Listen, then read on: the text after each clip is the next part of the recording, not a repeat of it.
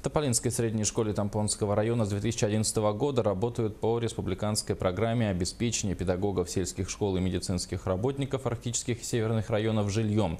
О результатах ее работы расскажут наши корреспонденты.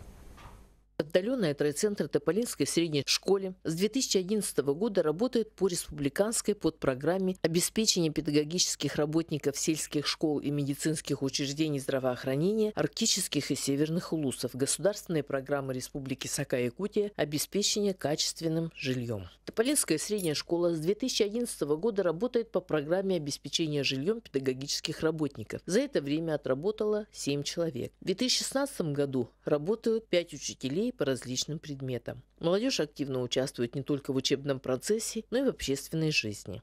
Кадровый состав у нас 47 лет, средний возраст, поэтому, значит, э, большое подспорье, вот молодые педагоги играют большую роль. И они больше, лучше владеют новыми информационными технологиями. Некоторые молодые педагоги вступают в эту программу по примеру своих друзей и родственников. Так Александра Павлова приехала по примеру старшей сестры, которая, отработав контракт, уже получила жилье в Якутске. Встретили меня, конечно, хорошо. Мне очень понравилось. Мне предоставили однокомнатную квартиру, где я одна живу. А, условия хорошие. Оказывается, здесь все благоустроено.